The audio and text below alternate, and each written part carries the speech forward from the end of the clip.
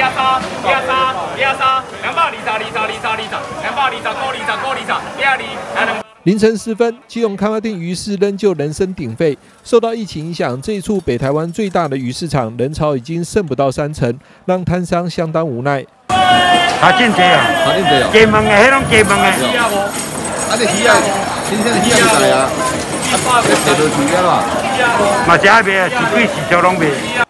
不过，部分叫卖摊位还是出现人群聚集的情况，因此在严格执行戴口罩及 QR code 十连制等防疫措施后，基隆市长刘昌表示，将与鱼市自治协会方面讨论，是否在地面划设区隔线，提醒采买民众保持适当距离。在康定的这个鱼市呢，目前就是一个加强管理的这种机制，好，原则就是要分流，第二就是人流希望要降载。那我们确实要求每一个摊商一定都要戴口罩，而且要做好自身防护的一个防疫的工作，这一点务必要落实，而且要做的确实。好，那每一个摊位呢，全部都是实名制、实联制啊，设置 QR code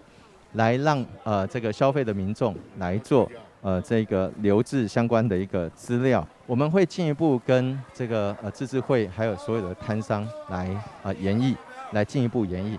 看是不是要在地面上好强制性的去画制一些呃间隔的一些点，好啊，比如说用油漆在地面上喷啊这个一档一一呃一定的适当的一个间距。来让这个呃人潮跟人流啊能够保持一定的一个间隔。好，关于这一点，我们会进一步再跟啊这个自治会这边啊来做进一步的一个商议。